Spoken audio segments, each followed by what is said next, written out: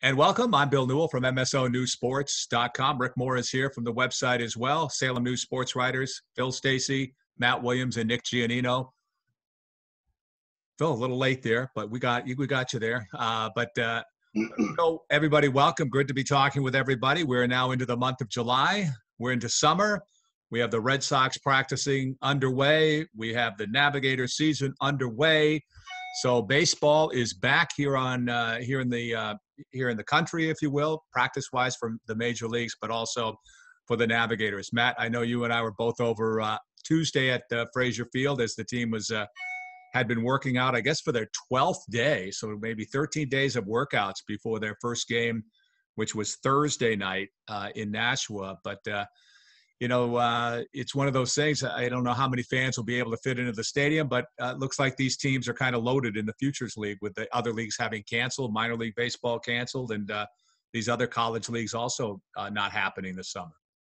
Pretty cool, right? I mean, we saw uh, Nashua, the first uh, stadium they played in, was sold out for the Thursday opener. Now, you know, that's obviously I'm not sure what the capacity is in New Hampshire. I know at Fraser Field to start, it's going to be 25%, uh, you know, which is, you know, uh, team president Derek January was hoping 11, 1200 or so. So uh, even if it's, uh, you know, close to that number in Nashua, that's pretty good. I mean, that means people aren't afraid to go to the ballpark. They're interested. It's pretty cool. Um, you know all the social distancing measures will be in place. I think um, the timing is right. You know one of the things i said to dj was uh, you know everybody's used to distancing now from being in dunkin donuts and the supermarket. You know we know how to do uh, you know not crowd the person in front of you in line right? How to go one way streets when you're walking around. So i mean we've been doing this for a couple months. We're used to it as a people. So i think that you know, we're going to know how to stay away from other people at the ballpark so we can all get outside and, and be okay. And, uh, you know, Bill, I don't know about you uh, watching them practice a little bit. We were both there with, with some of our colleagues from some of the other papers and stuff. Uh, I was impressed. It, it, seemed like some of those guys were moving around pretty good, pretty fluid. Um, you know, it, it, looked like regular baseball workouts. Nobody looked to be, uh, out of shape or anything. Uh, you know, it, it, was pretty uh, impressive to uh, see those guys doing their thing out there on the infield when we were there earlier this week. Yeah. Well, at my age, they all look like they're moving around pretty good out there, Matt. I'll tell you what, one unsung hero that, that I uh, was very impressed by was Logan Bravo uh, from Harvard and, and late of Austin Prep. Geez, uh, this guy – I mean, he had a decent season for them last year, but he, he looks like he's grown. He's he's filled out his frame. He, he he looks like a gazelle out there on the baseball field. I, he was the guy that to, to, to me really stood out and is going to be my uh, podcast uh, sleeper prediction for uh, one of the Navs' uh, best players this summer is Bravo. I, I thought he just looked ready to uh, ready to shine. Yeah. So if that proves prophetic at the end of the season, we can say, Willie, bravo. Ah, ah, pretty yeah. good. Pretty, pretty good. Yeah, that one landed like my father would say, like a fart in church, but I thought it was funny. I liked it. I mean, you know, but I'm easy. Well, that that I mean, they also have uh, Sal Frelick back from uh, Lexington and Boston College. He was with them two years ago. Usually in that league, you don't come back like that uh, in your third year. Um, uh, but the Cape League was canceled. That's the case with some other players as well and he is just a really nice looking ball player with a great swing. As we've talked, I think we talked about him maybe last week or two weeks ago on the podcast. But uh, but I mean that would not be a sleeper pick, if you will, for sure. Somebody that's done so well in the league before. But uh, it's interesting. I talked to Dylan January, Derek's son, uh, this week, and. Uh, you know, it'll be interesting to see how these young high school. It'll, it's the first time these high school kids have really played with college kids, so it's a it's really kind of a step up. So you get a lot of these high school seniors on the team. And you also have a kid like uh, Todd Tringali from Saugus back. He uh, graduated a year ago from high school, but uh, he's he's back on the team and so on. So a lot of a lot of interesting local names on the squad. A bunch of Swampscott kids, Bo Dana from Marblehead and so on. So there's there's a pretty good roster. Young man from Lynnfield as well, um, who we talked about with uh, Andy Carboni on our um, baseball um, Insider podcast. I'm just blanking. It's uh, Looters. John Looters. Looters from John, Lynnfield. Yeah, great yeah. infielder. Real smooth defensively. Yeah, yeah. So. Right on.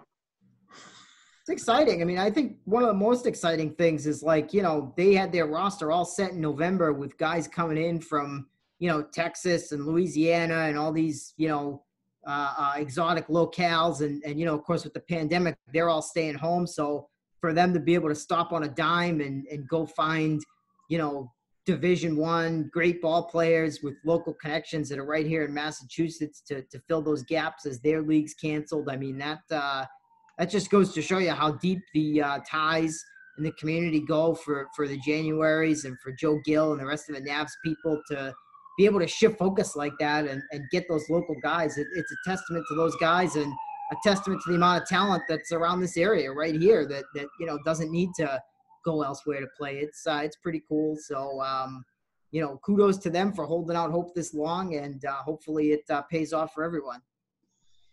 You know, for the last six months, it seems like every week they're adding two more players. I'm surprised their roster is not like 75 strong. You know what I mean? Uh-huh. It's why don't they have 75 players on that roster? Yeah, they, they might by the time it's over. Yeah. I wonder if they have any idea of what uh, the crowd is going to look like there. You know, I mean, is it do we know is it 25% capacity at this point? That's right. Yeah. So I wonder what the uh, the demand has been for tickets, or if they have an idea. I mean, I would think that could sell out very quickly.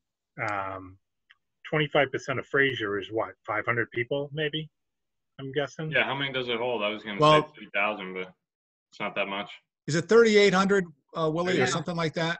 Yeah, he, I mean, so so unofficially they told us that they were, you know, hoping like 11, 1200 if they can get that many, but you know, I, I don't know if that includes the workers. I mean, so they're gonna do most of their ticketing online. I think all the ticketing has to be done online, no cash, you know, just to cut down on the, uh, you know, things changing hands and, and distancing as we know. Uh, so, you know, check out NS Navs. Uh, and I'm sure that just like Nashua did uh, on Thursday, you know, if there's any, uh, you know, there'll be, in other words, uh, issuing updates on Twitter and, and on social media throughout the day there on the opener Tuesday, just to, you know, let folks know, uh, you know, when they do run out uh, of uh, of tickets. I'm sure because I, I, yeah, I mean, Phil's right. I imagine that, you know, at least for the first one, they they probably fill up, you know, before first pitch. Right. Wonder if they're going to jack the ticket prices up up to try and break even there. I don't think so, but you know, I, I actually haven't looked at that. Well, you know, uh, Derek January's took took over the team. Uh, you know, you know, bought it. You know, less than a year ago, at the end of last year, or whatever it was. And I talked to him over the winter or fall or whenever it was. Uh, and of course, you have this plan in place for for um, for for stepping it up, if you will. And then the virus hits, and um, then the season is delayed. And so I kind of asked him the other day, like a week or two ago, what's the business plan? And basically, he goes, "What business plan?" You know what I mean? So you know, they're just gonna. What are they going to have? Really, like a month of season, maybe six weeks of a season and playoffs and so on. It's gonna. It's not going to be that long, uh, as it all turns out, because it never was that long to begin with, and they've already lost what five weeks, I guess, of the season. It seems like so. Yeah. Uh, Yep. So in other words, it it is what it is, and they'll they'll get something in this year, and that'll that'll be it, and then hopefully next year, tw- 2021, as we all say, hopefully that'll be a better year. You know, Knock on wood. can't be work. Well, I shouldn't say that. So can I change? No, don't say it. God, can I change the subject here for a second? Of course. I've been listening to you guys, uh, you know, with, with Bill, and uh, um, I, I want to ask you, you, you guys as reporters, um, how do you go about uh, uh, changing, changing the mindset in doing your sports stories? Because you've had to be so creative, and the stuff you've done is is really cool. You're digging out the, uh, you know, the encyclopedia. You're digging out the uh, the sports files and so on. But to come up with the ideas and then to sit down and do what you do and research that and go get guys and, and maybe I'll start with you, Phil. Uh, you guys get together sort of weekly and say, okay, no sports again this week. What can we do? Um, yes and no, if that makes sense. Um, we do talk. I mean, of course, none of us are working out of the office. We're all at home. Um, I have been doing a lot of um, on the news side of the newspaper during the pandemic.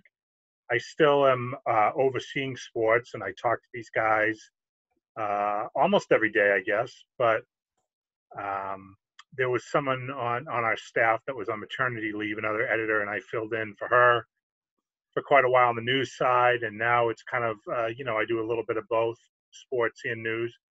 But to answer your question, we just try to brainstorm ideas that we think would be of interest to the readers. In that sense, it's really not that much different from what we do during the when there's regular sports going on.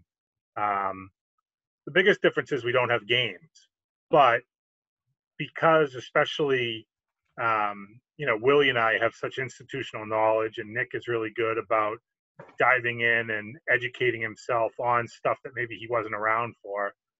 Um, and the the vast resources that we have in terms of contacts and um, history we can research and things like that. We're able to track things down and, and we try to make it as interesting as we can. I mean um, willie came up with a great idea early this spring. It might have even been uh, pre-pandemic willie wasn't it when we were talking about the rings? Oh, sure, yeah. Yeah, yeah. yeah. Um, but we I came up with an idea last year about logos and like who has the best logo in our area and things like that. And I got a lot of buzz from people voting online and picking their favorite and all. And it didn't turn out at all how we thought it would, which was great. And Willie kind of thought something along similar lines with championship rings. So we were able to get, what did we get, almost 30 rings, Willie, I think it was? Close to it, yeah, altogether, yeah. yeah. Different people sending us from different years, you know, whether it's St. John's Prep football, or Marblehead hockey, or uh, Beverly lacrosse, or whatever. You know, we get all these different state championship rings, and we put them in like a bracket type format and let uh, the readers vote on it online. So that right there is an idea that um, you know has worked well. Now, you know, normally this time of year, Rick and, and Bill, you guys know, it, it's a slowdown. Uh, our bread and butter is obviously the high school stuff with no high school stuff going on now, I mean, that's no different than any other year. There's no high school stuff going on in July or August. So we, we're always trying to find stuff to do. But we've had to be a little more creative because we don't have, um, say, like the Little League tournaments to fall back on, the Agganis games to fall back on. So we've just tried to tap into our resources as best we can. And um, it's certainly a good sign that things are coming back, like the Navigators or the Essex County Baseball League and some golf and things like that. But we, um, you know, between the three of us, we, we, we can probably generate a 15 watt light bulb and come up with a couple of good ideas, uh, whether it's, you know, just asking questions to high school seniors, um, profiling different kids each day that way, or um, doing some of the, you know, teams of the decade. We've done some of those, but didn't want to go to the well too too often. We will have some more later this summer, but um, you know, just just different things like that. We've we've tried different things, some hits, some miss, but uh, certainly appreciate you saying you like what we've been putting together. And as much as I think we enjoy it and have been doing a good job, and it's been a chance to catch up on some things that we don't normally get a chance to do. I think all of us would safely say that we'd much rather there be actual games and uh, you know profiles to write and features and things like that. You know, Phil, you mentioned the championship rings. Uh, there, there are my championship rings right there. uh, but uh, Willie, tell us more about that. By the way, what what's the deal on that? Because I saw you tweeted something on that this week, and so can people still submit photos of those rings? I know we talked about this a couple weeks ago, but where do we where do you guys stand on that one? So we got uh, we got twenty uh, high school rings. So we, we put them all in a bracket. And uh, of course, as we know from following the MIAA, if, if you don't have a factor of eight or four or 16, uh, you have to do play-in rounds. So this week was the play-in round. So uh, tomorrow, well, as by the time you watch this, readers, viewers, uh, you know, we'll be down to the Sweet 16, and and the voting will begin on Monday uh, to narrow that 16 down to eight. So what we did was, uh, you know, we got rings from I think it was 13 or 14 different schools. So those schools that sent in more than one got in the play-in round. So by design, each school is going to have at least one ring in that round of 16. And then after this is over with the voting, we'll feature some of the college rings and some of the other rings that we got that maybe didn't fit into the bracket. The, the response was so overwhelming that we got yeah. too many. In the City uh, Baseball League Yep. Yeah, we got uh, NCAA lacrosse, NCAA hockey, uh, some prep school stuff. Salisbury School uh, sent one. Uh, College World Series. I mean, so there's there's going to be some cool stuff. And you know, hey, for proud of their rings, and they should be. uh, for me, it's just the design, the, you know, the uniqueness, each one. I mean, you know, you always hear about the professional rings. I always go back to the Patriots and the way they, uh, you know, incorporated those numbers 28 and 3 into that Falcon ring so many times, right? There's 28 diamonds on one side and three on the other and all that kind of stuff. So I, look for like those little unique touches, um, you know, what's personalized about it. Um, you know, without influencing the voting, like the, the Danvers boys basketball one that we got was the third one from their dynasty, right? So they put three trophies on there, not just one, uh, which I thought was cool. You know, so I just think the the subtle differences in them are pretty cool. I mean, we got one from as far back as 1990 and, and as recently as just two years ago. So it, it sort of encapsulates, a, a, a, you know, what's that, 30 or 40 years of, of North Shore sports history. So that's pretty cool. You see the progression too, like you mentioned the 1990. That's the PVD high ring. Yeah, and we have a Salem uh, 92 as well. Okay. 90 as well, I The, should say. the Peabody ring is just like a blue. Uh, I'm gonna get my gemstones wrong here, but what is that? Opal or topaz or whatever that is? I presume it's like a fake, but yeah, I think Yeah. it's, Okay. you know, but it's like a nice, uh, a, uh, like a Caribbean ocean blue surrounded by a ring. It, it's certainly nice, but when you look at the progression of what now it goes into some of these rings, it's Yeah. crazy. So I, I Mhm. like that part of it too.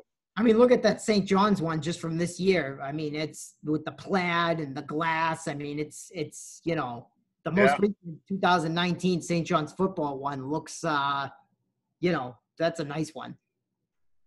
Oh, it's probably better than some actual Super Bowl rings from the first 25 years of Super Bowls, you know? Ooh, probably better than Mean Joe Greene's. Yeah, or uh, me- uh, Refrigerator Perry's ring or something, you know? Yeah. Nick, Nick, what's it been like you as, as the relative newcomer to uh, to to try to get a year's uh, ten years worth of features in three months? Uh, you know, it, it's it's a lot easier when you can go out and cover stuff fresh and uh, you got names. Oh, for sure. faces right there. What's it been like for you? Well, for one, I think it's easy with the golf because these two guys aren't uh, really golf aficionados, so to speak. So anything golf related, I can take over that. And of course, they are playing competitive golf right now, and you know the amateur level, recreational, and PGA. So that helps. So I've done some golf stuff, but there's always stories out there. You know, no matter if sports are being played or not, there's always features or you know kid committing to a college or doing something different. I just wrote about a wiffle ball league they started in Hamilton Wenham. So a lot of these stories that we're coming up with are still good stories, but they might not make the paper when we're really busy with sports going on. Mhm. But now without sports going on, we say, oh, you know, this is a pretty good story. We'd love to get this in there, and it works out great. So, you know, I don't want to say it's been easy, but it hasn't been super difficult to kind of ride the wave right now and get some stories in there. And uh, yeah, I think you know for the most part we've done a good job splitting it up, splitting up the features, and trying to find different different stuff, different angles. But um, yeah, that's that's kind of how I feel about it right now. Yeah, I mean, he's being modest. It's it's really, uh, you know, Nick and Willie doing the, the heavy lifting here, where I've been kind of focused on the news side of things. Um, I can guide them a little bit, and, and I do contribute here and there, and I hope to be doing it a lot more this month. Um, but these guys have really done yeoman's work while I've been, um, I've been, uh, you know, kind of re, uh, not reassigned. That's not right, but kind of made a lateral move. I mean, I, I joke with my boss um, that I feel like uh, I'm the position player who they asked to come in and pitch in the eighth inning of a 14 to 2 blowout. You know, that's how I'm helping out news, just doing what I can. Not my field of expertise at all, but, uh, you know, helping out. And, um, you know, if it's ever going to happen when there's a global pandemic and no sports going on, I guess that's the time to do it. So uh, these two guys have really been terrific as far as doing a lot of the heavy lifting and getting stuff out in sports. And it just shows how talented both of these guys are and the strengths that they have and the skill set that they possess. And, and I hope that the people who um, you know, read our sports section and follow our interactions on social media and things like that, realize how talented these two guys are. I've got the chance to get my face in front of the camera a little bit more too with my uh, whole story golf video. I don't know if Bill or Rick, you guys have seen that, but I've highlighted a different golf hole from a different course here on the North Shore once a week. Just kind of talked about the hole, what makes it, you know, interesting, what makes it tough, challenging. Have you And, used the uh, word undulating yet? No, I haven't. I'm gonna have to sneak that in there. I don't know That's how. a Gary special. I don't know how any of those greens that you've been to haven't been undulating. Right. Not really a word that comes to mind right away, but I'm sure some of them have been. Especially like with- uh, elevation changes. That's the that's the one I use. But Gasper yeah, used the word that's good.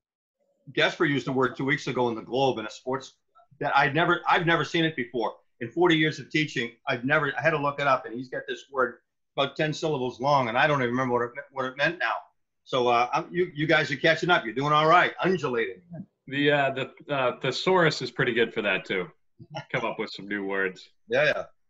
I think uh, the hardest thing about the creativity with the pandemic is finding room for all the different ideas. We've been running out of room, and then Yeah. you know, there may not be games, but there's still news going on. Uh, you know, transactional news, the MIAA changing things. You know, you want to cover that day to day. Uh, You know, certain schools might be, you know, picking up a sport, starting a new sport, getting rid of a sport, things like that. You want to be on top of. So I mean, there's still, you know, kind of. I, I guess what you'd call in professional sports the business side of sports, and, and in high school it's not really a business, I guess. But you know, there, there is the off the field news. So, you know, you, you, want to be engaged and, and not miss that stuff. And then still also have room and, and, you know, you think of like five cool projects and, you know, maybe they don't all fit in a week and, and you want to like make a post-it note to yourself and stick it on the wall so you don't forget, you know?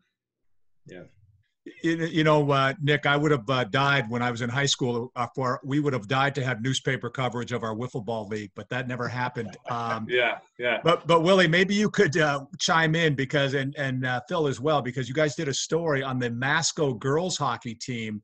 What's the background between that? Because that's an interesting story, I think, right? As to what happens with that team. Sure. So, like uh, girls hockey, most of the schools co-op, which is you know, so you have more than one school that, um, more than one school that that you know combines together. So, Masco used to go with North Andover, and you know, nine or ten years ago, North Andover departed, and uh, Newburyport uh, joined up. And at this time, Newburyport would like to start their own team.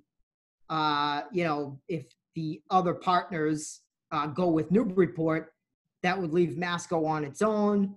Uh, there's been some discrepancy about how many players they may or may not have. So, in other words, if they have enough players to have their own team, that's great.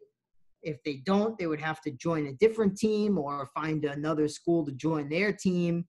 Uh, there's some discrepancy about the MIAA grandfather rule uh, because if you change a co-op and it's someone's senior year, that someone has the right to say, I'm not going to join a new team. I want to play my senior year with the kids I've been playing with for the last four years.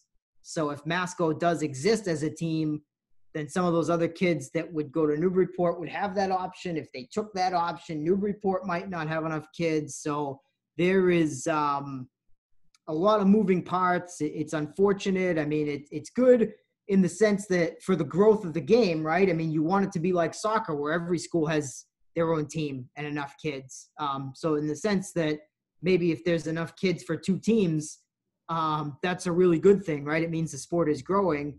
But anytime you change anything, it's going to be someone's senior year. It's going to upset the apple cart, and it's going to be a little bit awkward. So uh, it remains to be seen whether Masco will have enough kids to have their own team, whether they'll choose to join a different team. I mean, they're really exploring their options. They have to see how many of the eighth graders enroll, um, you know, because it's a global pandemic, right? Kids that maybe were thinking about going to prep school, maybe they won't go. Um, you know, maybe they won't even have winter sports. I mean, we don't know. And and I think that, you know, the oversight group, right? I mean, there, there's a lot of things that they're worried about right now as far as trying to get fall sports off the ground, trying to figure out what's going on with the pandemic. Uh, you know, I, I don't know that like it's on the front burner, um, you know, worrying about one particular girls hockey team. So uh, a lot of pros and cons, a lot of moving parts, and uh, remains to be seen what might happen. I mean, I think um, we see co-op partners change from time to time in girls hockey. I mean, that's not really all that uncommon. Um, typically, a school that hosts like Masco doesn't change. Typically, the guests will move around. So, like I said, North Andover, for instance, move from Masco to Haverhill. Um, you know, things like that will happen. Um, Gloucester, for instance, uh, their kids used to play for Marblehead, and they're you know exploring starting a new team. They may or may not be varsity this winter. Uh, so you know that's a good thing for them. I mean, Gloucester used to have a team. That team folded, and now they're starting it back up again. So if Masco has to go somewhere else for a couple years, I'm guessing a couple years after that they'll have enough kids to have their own team again. So it, it's definitely not you know even if they don't have a team of their very own next year, I don't think it's forever. Um, based on the number of hockey players there are in that town, based on the Masco youth numbers. Um, so, you know, the bottom line is that every kid in the school that wants to play hockey is going to have a chance to play hockey. You know, whether it's in a Masco jersey or in a different jersey, we'll see. But it's not as if anyone's going to lose their chance to play. So, I mean, that's a plus.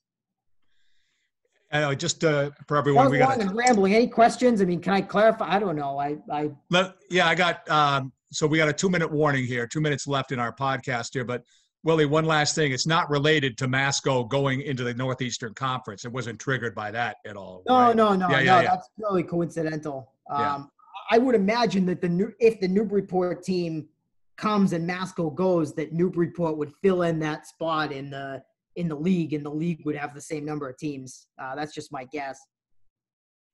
Yeah, uh, Matt mentioned uh, one-way traffic. Again, before you guys go, I have to ask you: Have you guys covered what happens in a grocery store if you go the wrong way on a one-way aisle?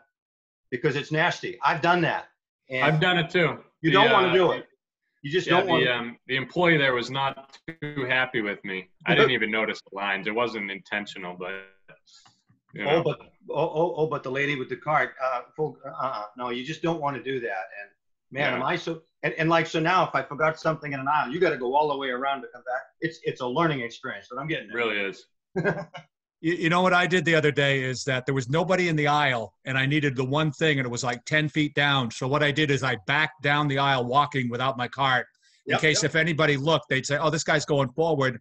and then they would just have to, you know, they wouldn't focus on me because they know I was facing the right way. I like that. But I was able to back down the aisle, grab the can of coffee or whatever, and then put it in my cart back in the on the other aisle. So wicked smart. You know, wicked smart. Yeah, it's you know you got to you got to play the game, but at least I didn't endanger anyone either. So. All right, man. I think we're out of time. Happy Fourth of July to you all, without fireworks this year, right? Happy Fourth. Happy Fourth, guys.